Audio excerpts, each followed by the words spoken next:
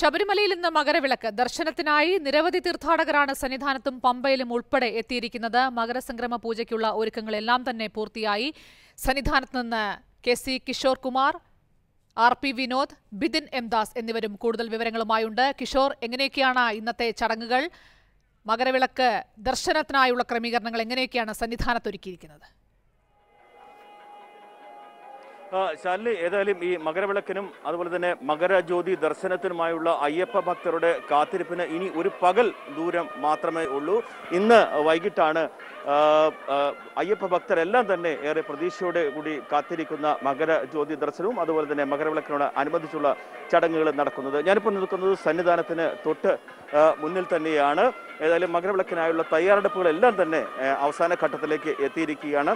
സന്നിധാനത്ത് ശ്രീകോവിലും അതുപോലെ തന്നെ സന്നിധാനത്തിന് മുൻപുള്ള മണ്ഡപവും എല്ലാം തന്നെ പൂക്കളും അതുപോലെ തന്നെ ഇലകളെല്ലാം കൊണ്ട് അലങ്കാര വസ്തുക്കളെല്ലാം കൊണ്ട് അലങ്കരിച്ചിരിക്കുന്ന ഒരു കാഴ്ച നമുക്ക് രാവിലെ തന്നെ കാണാനായിട്ട് സാധിക്കും.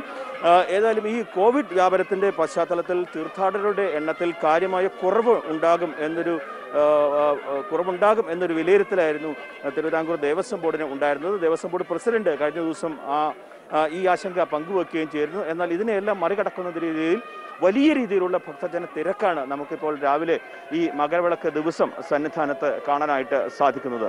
ഇന്നത്തെ ദിവസം സന്നിധാനത്ത് പ്രധാനമായും മൂന്ന് ചടങ്ങുകളാണ് നടക്കാനിരിക്കുന്നത്. അത് ഏറ്റവും പ്രധാനം ഈ മകരസംക്രമ പൂജയാണ്. ഇന്ന് ഉച്ചയ്ക്ക് രണ്ട് ഇരുപത്തി ഒൻപതിനാണ് മകരസംക്രമ പൂജ നടക്കുന്നത്. ഇതിന് പിന്നിൽ പല ഐതിഹ്യങ്ങളുമുണ്ട് ഈ മകരസംക്രമ ആ, പൂജയെ കുറിച്ചിട്ട്. അതായത് അയ്യപ്പൻ തന്റെ അവതാര ഉദ്ദേശം പൂർത്തിയാക്കി ഇവിടെ ശബരിമലയിലെ അയ്യപ്പ വിഗ്രഹത്തിൽ ലയിച്ചത് ഈ ദിവസമാണ് എന്നുള്ള ഒരു ഐതിഹ്യമുണ്ട്. അയ്യപ്പന്റെ ജന്മദിനമാണ് മകരസംക്രമം എന്നൊരു ഐതിഹ്യമുണ്ട്. ഇതിനെല്ലാം ഉപരിയായിട്ട് സൂര്യൻ ധനുരാശിയിൽ നിന്ന് മകരരാശിയിലേക്ക് മാറുന്ന ഒരു ദിവസമാണ് മകരസംക്രമം. ഈ മകരസംക്രമ പൂജ തൊഴുന്നത് വലിയ പുണ്യമായിട്ടാണ് ഭക്തജനങ്ങൾ എല്ലാവരും തന്നെ കാണുന്നത്. ഇനി ഇന്നത്തെ ദിവസത്തെ ഏറ്റവും പ്രധാനപ്പെട്ട ഒരു കാര്യം തിരുവാഭരണം ചാർത്തിയുള്ള ദീപാരാധനയാണ്. പന്തളം കൊട്ടാരത്തിൽ നിന്ന് തിരുവാഭരണ ഘോഷയാത്ര മിനിങ്ങാന്ന് ആരംഭിച്ചിരുന്നു. പരമ്പരാഗത പാതയിലൂടെ ഈ തിരുവാഭരണ ഘോഷയാത്ര ഇന്ന് വൈകിട്ടോടെ സന്നിധാനത്ത് എത്തിച്ചേരും. സന്നിധാനത്ത് എത്തിച്ചേരുന്ന ഈ തിരുവാഭരണം മേൽശാന്തിയും അതുപോലെ തന്നെ തന്ത്രിയും ചേർന്ന് ഏറ്റുവാങ്ങും. തുടർന്നാണ് തിരുവാഭരണം ചാർത്തിയുള്ള ദീപാരാധന നടക്കുന്നത്. ഈ തിരുവാഭരണം ചാർത്തിയുള്ള ദീപാരാധനയ്ക്ക് ശേഷമാണ് പൊന്നമ്പല മേട്ടിലെ മകരജ്യോതി. ഈ മകരജ്യോതി ദർശനം ഭക്തർ വലിയ പുണ്യമായിട്ടാണ് കാണുന്നത്. തിരുവാഭരണം ചാർത്തിയുള്ള ദീപാരാധനയ്ക്ക് ശേഷമായിരിക്കും ഈ മകരജ്യോതി ദർശനം നടക്കുക.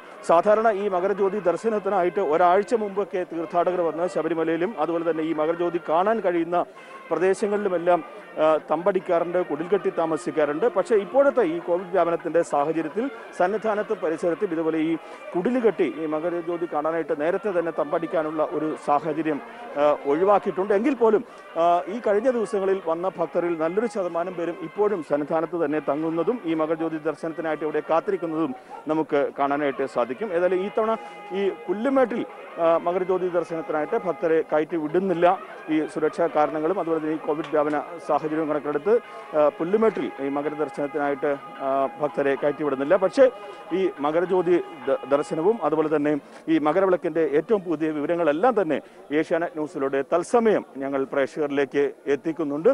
ഏതായാലും ഭക്തർ കഴിഞ്ഞ വർഷം മകരവിളക്കിനും അതുപോലെ തന്നെ മകരജ്യോതി ദർശനത്തിന് ശേഷം ഉള്ള ഭക്തരുടെ കാത്തിരിപ്പ് അവസാനിക്കാൻ ഇനി ഏതാനും മണിക്കൂറുകൾ മാത്രമേ ബാക്കിയുള്ളൂ. ഇന്നത്തെ ഈ മകരവിളക്ക് ദർശനത്തിനും അതുപോലെ തന്നെ മകരജ്യോതി ദർശനത്തിനുമായിട്ട് ഭക്തർ കാത്തിരിക്കുകയാണ് ശാലിനി.